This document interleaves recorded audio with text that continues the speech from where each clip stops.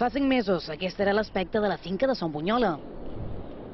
Avui, però, després del pas de l'esclafit, la imatge de la possessió és ben diferent. Una part de la façana, eh, de, de la façana que mira cap a l'interior caiguda, part de la torre, la part de la torre medieval, eh, també tot el terç superior també ha caigut, i suposam, perquè això també és general al port de Canonja, que tot el que és el tema de les oliveres, que n'hi havia oliveres mil·lenàries, de tot el tema de, de parets, tot això també s'haurà haurà, haurà passat per avui. La finca de Son Bunyola data del segle XIII. És una de les possessions més antigues de la Serra de Tramuntana i atresora un gran patrimoni paisatgístic i etnològic. El manco dels primers documents la tenim des del segle XIII. El segle XIII, just després de la conquesta, ja parla que els conquistadors ja se troben a dins les cases, se troben sobretot vi, o sigui que vol dir que l'època islàmica ja funcionava com, a, com el queria.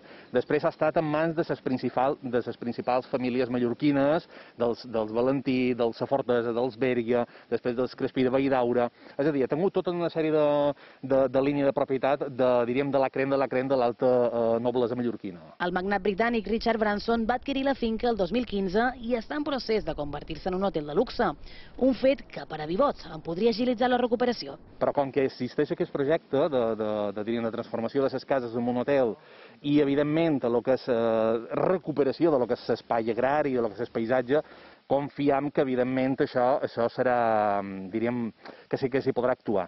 Evidentment, això no, no passarà exactament el mateix que passa a tot l'entorn, sobretot a Pinar d'Usinar, que això serà recuperable d'aquí a desenes i desenes d'anys. És una altra de les petjades que deixen temporal al cor de la Serra de Tramuntana.